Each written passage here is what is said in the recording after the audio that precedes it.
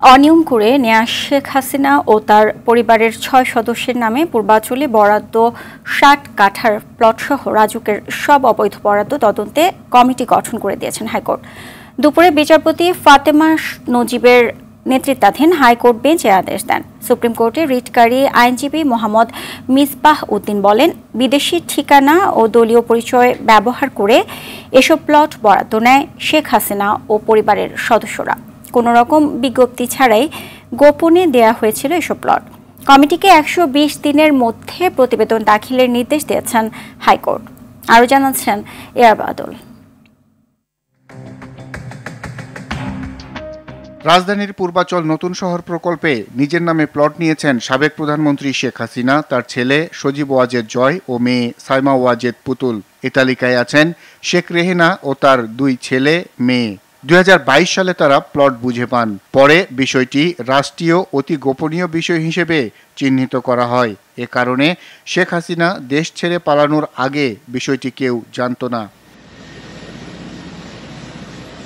Plot বাতিল চেয়ে করা রিটে গণপূর্ত সচিব, রাজুক চেয়ারম্যান, পূর্বাচল প্রকল্প পরিচালক শেখ হাসিনা, শেখ রেহেনা, সজীব ওয়াজেদ জয়, সাইমা ওয়াজেদ পুতুল, রেজওয়ান মুজিব সিদ্দিক ববি এবং আজমিনা সিদ্দিক রূপান্তিকে বিবাদী করা হয়েছে।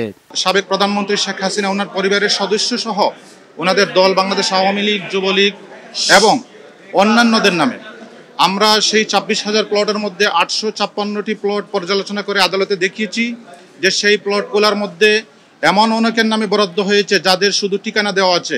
অস্ট্রেলিয়া আমেরিকা এবং লন্ডনের ঠিকানা। ওনারা আদৌ বাংলাদেশের নাগরিক কিনা সেরকম কোন তথ্য নেই। আইনে বলা আছে বাংলাদেশের নাগরিকদের মধ্যে দিতে হবে। রাজুকের অবৈধ বরাদ্দ তদন্তে সাবেক বিচারপতি মোহাম্মদ মিফতাউদ্দিন চৌধুরীকে প্রধান করে তিন সদস্যের কমিটি গঠন করা হয়েছে।